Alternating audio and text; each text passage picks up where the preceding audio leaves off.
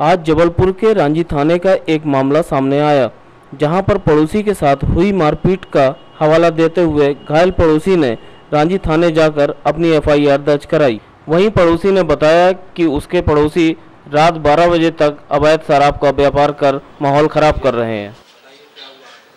भैया जी, हमारे छोटे भाई घर के बाजू में मुकेश चौधरी, तूका चौधरी, दारू बेचते उनके घर में बारह एक बजे तक दारू खोरी होती है। और उनके घर में हमारे भाई के घर में लेडीज़ लोग रहती हैं मम्मी लोग रहती है उनकी बहू रहती है तो रात में गाली गलौज हो, हो करते हैं जो लोग। तो मेरा भाई समझाने गया छोटा ये मैं रांझी में रहता हूँ। मेरी माँ बेड़ा महंगमा में रहती है उनसे मैं मिलने गया था। तो मेरे भाई ने खाने पीने के लिए बोले कि खाने पीने के खाने के बाद चले जाना। तो मैं रुका था तो मेरे छोटे वाले भाई ने पीछे शराब बेचते हैं पीछे कब से चल रहा कम से कम बीसों साल हो गए उन लोगों का।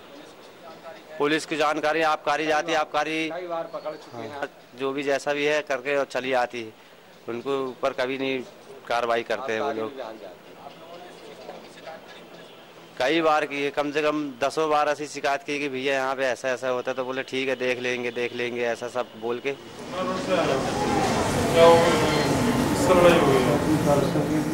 ये रांची थाने का एक मामला चल रहा है। इसमें दो तीन दो तीन दिन पहले कुछ चौधरी लोग और इनके बीच में मारपीट हुई थी और इनके काफ़ी चोटें आई हैं हाथ पाँव टूटे हैं।